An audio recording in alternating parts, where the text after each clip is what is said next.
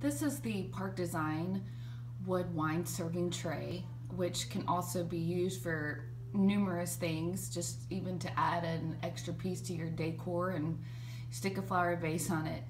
This, it's really nice quality. It's real thick, has the iron handles, nice finish to it. It um, is very heavy, great quality.